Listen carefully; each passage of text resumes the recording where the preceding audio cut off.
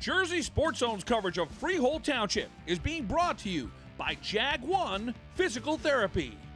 Sound the air raid siren at Freehold Township. The Patriots are one of the most pass happy teams in New Jersey, and with young talent back in the mix, Township should be a fun team to watch in 2022. Mark Augello passed for 1,488 yards and 14 touchdowns in just seven games of action, setting three individual game records as a sophomore.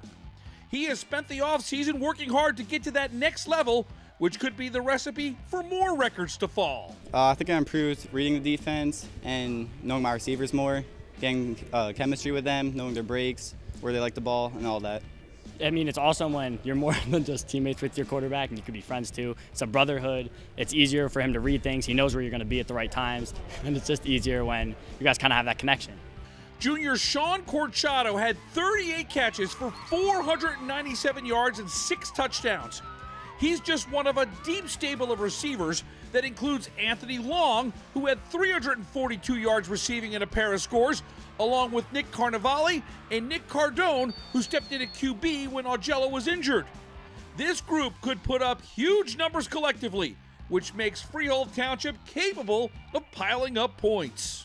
Seven starters return on defense, headlined by Nick Benjamino, who had 82 tackles. He's determined to get Freehold Township to winning football after a 4 6 record last year. I just think we uh, take like the, the, the uh, losses and we learn from them and fix our mistakes and just move on from that. You only uh, go week by week, can't go back and you just go to the next game and see how we can do. The Vibe is way different than last year. Last year was put aside. This year we're just a whole better team different energy, and everyone wants to play. The Patriots will play in the Constitution Division of the Shore Conference, which features four Freehold District teams along with Jackson Memorial. Head coach Cory Davies knows rivalries mixed in with tough non league opponents, starting with the opener against Manalapan in week zero, will test his Patriots week in and week out.